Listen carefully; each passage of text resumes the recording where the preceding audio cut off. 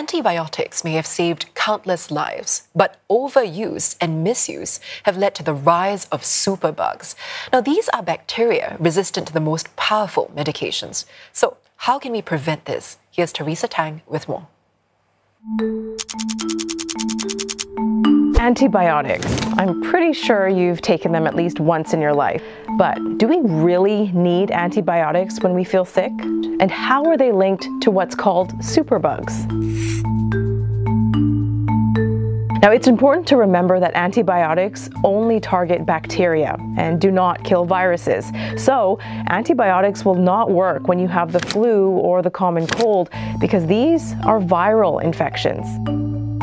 What actually happens inside our bodies when we take antibiotics?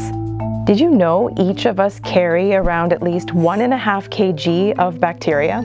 They live in our hair, skin, gut, and lungs. They play a crucial role in maintaining many of our body's healthy characteristics.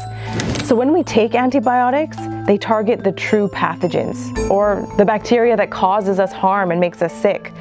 But at the same time, they also harm the healthy bacteria living inside us. This healthy bacteria gets damaged and mutates and slowly becomes resistant to these antibiotics. Take an elderly person in hospital with diabetes. They tend to have a lot of bacterial infections, and the only way to fight these is, you guessed it, more antibiotics. Over time, the bacteria in the patient builds up so much resistance to many common antibiotics, it creates a superbug, which then needs more powerful antibiotics to treat. When superbugs spread from one person to another, this leads to antibiotic resistance in the community that slowly grows over time. It's a global problem. Superbugs are associated with close to 5 million deaths every year. How bad is the superbug problem now? It is a very serious problem. So, in a recent study uh, where they took the global data um, and summarized them, this superbug problem has become the third killer in the world in terms of the number of deaths.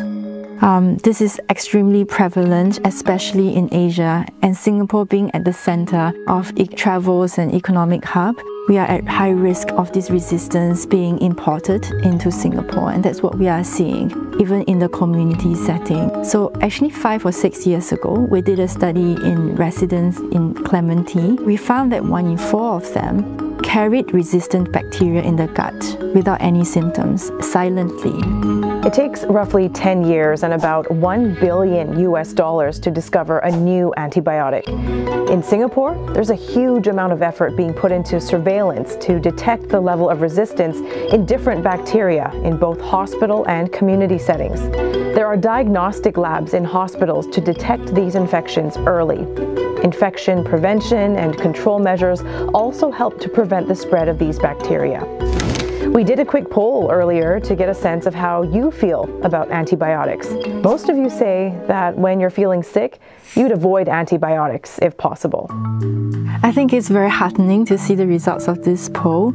Um, I think that's really changed from a few years ago where we communicated with the GPs and did surveys and one of the key factors that drive them to prescribe antibiotics was actually demand from the patients. Mm. Even though today's talk has been emphasizing on reducing unnecessary use of antibiotics, sometimes there are circumstances where we need antibiotics. There are still really important medications that can um, prevent complications down the line if we treat them early. Always have an open conversation with the GPs and discussing uh, things like can we delay antibiotics for a while? How long do I need antibiotics for? And if you require diagnostics to differentiate viral versus bacterial infections.